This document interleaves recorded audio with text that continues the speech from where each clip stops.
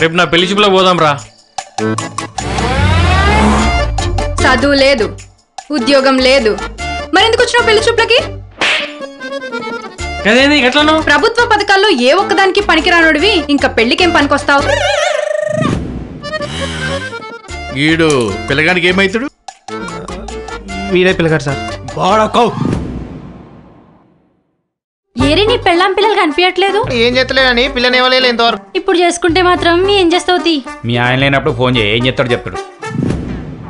Sir ఈ ఏజ్లో college అంటే కరెంట్ రాజు కానివా కరెంట్ రాజు కదా? దీనికి ఎట్లా తెలుసు? దేనింటూ కూడా పెళ్ళి చూపులో పోయినా ఏంది? రే నేను రా. సుకన్యాని నీ క్లాస్మేట్ని ప్రిన్సిపల్ ఏమిటి సీనియర్ లెక్చరర్ ఏమిటి క్లాస్మేట్? వీడు చదువుతాడు.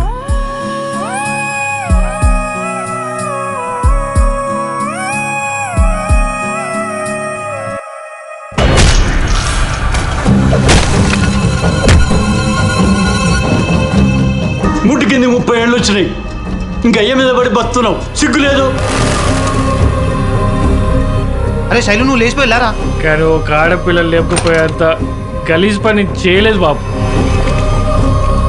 మనం లైఫ్ లాంగ్ కలిసి ఉంటామో లేదో నాకు తెలియదు. ఓ ముప్పై ఉంటాయా? ఏజ్ బార్ గాడివి. నువ్వు తప్పు చేయలేదా నీ ఊరోళ్ళు నమ్మాలన్నా. నువ్వు ఒక్కని వస్తే సరిపోదు బిడ్డ. ఆ పిల్లని కూడా తీసుకురావాలి.